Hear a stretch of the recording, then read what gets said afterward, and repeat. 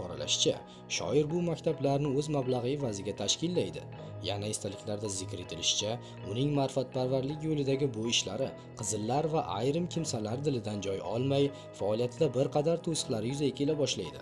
Jumladan qo'qondagi maktabni yopishga uch marta urinib ko'rishgan bir gal uni bolalarni qimmat alomatga o'qitib foyda olmoqda degan noo'rin ayblov bilan mahkamada intizor qilsalar boshqa safar esa hujjatbozlik ishlarida suskashlik va suiiste'molda aybdor deb tuhmat qiladilar. Lekin har safar hakimzodaga qo'yilgan ayblovlar o'z tasdig'ini topmas tish qayraganlar esa bir chekkada alamda qolaverardilar.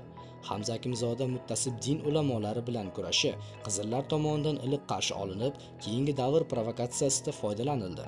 Go'yoki jabrdiyda xalq orasidan chiqqan hamza muqaddas dinimiz aqidalarini mazax qilib ulamolar faoliyatiga yomon ko'z bilan qaragan. Mohiyatni